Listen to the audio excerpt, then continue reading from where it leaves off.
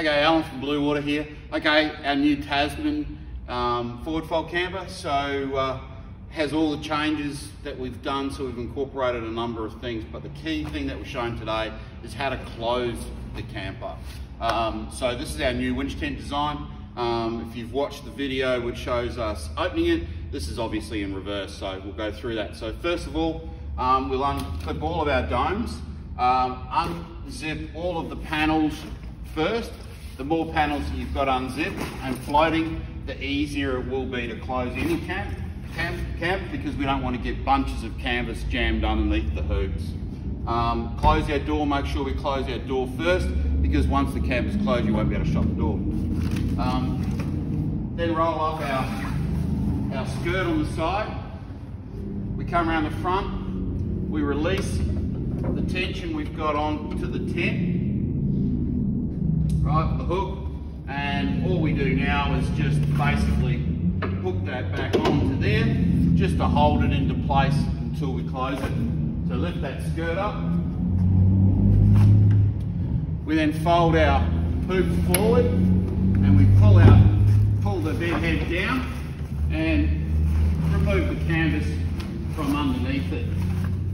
And then fold it over like you're folding over a bed and we pull our bed end strap up and over.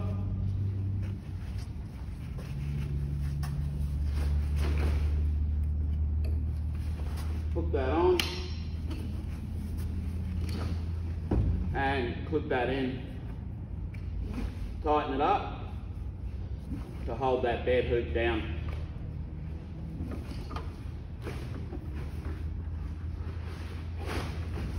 The more time you spend tightening this canvas up before you close it, the easier it will be to, um, to close it in general. So fold it over.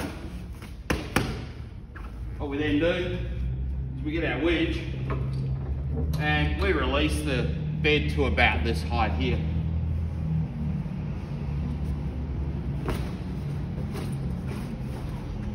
Then fold up our skirt at the rear and we release these. So these are your uh, this is your hoop, it's your carabiners. They go off there and here. Roll those up, store them in the locker at the back. Same with this one. Roll them up, store them in the back.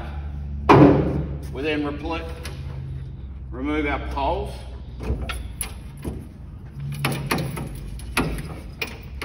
They just slide out of there and we will store those in our pole box.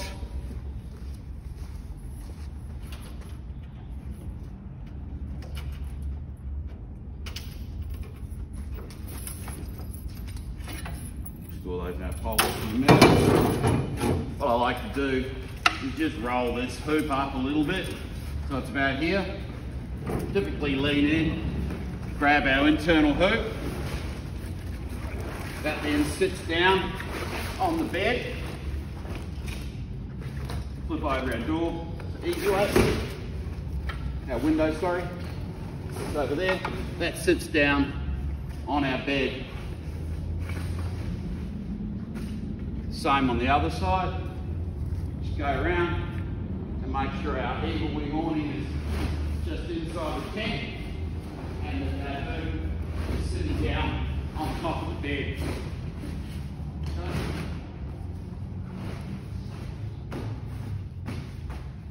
What we can then do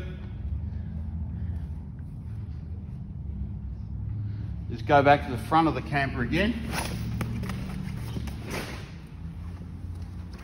Making sure all of our canvas is up. We'll release this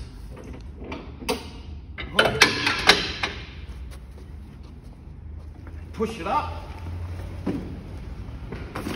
We can now hold the tent with this hoop and just make sure all of your canvas is inside and that's on both sides.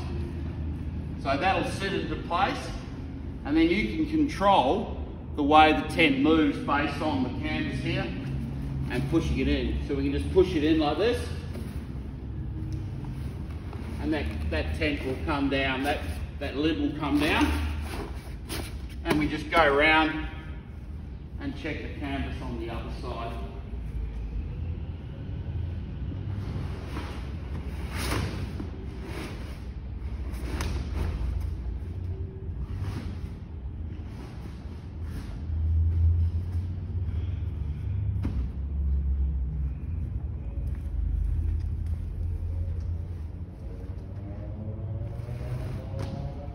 We do is just try to pump a little bit of the air out.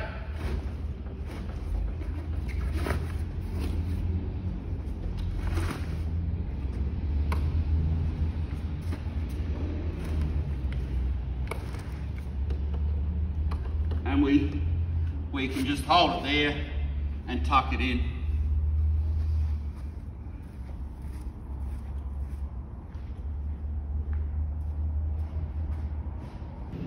Okay, so to assist you closing this, what we've done is, is we've made it so it's easier to open and it's just as easy to close.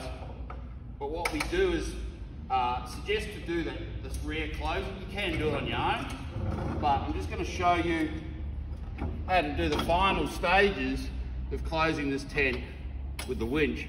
So you increase the extension up to the top, you go over the top, you chuck the winch underneath that roller and you hook it onto this here like this, okay? So off the winch, over the roller, under that roller.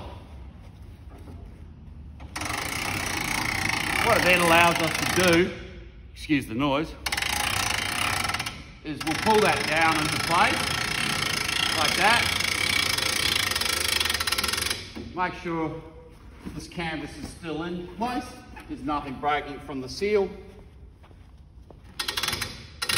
to a point whereas we can go around and put those hooks on.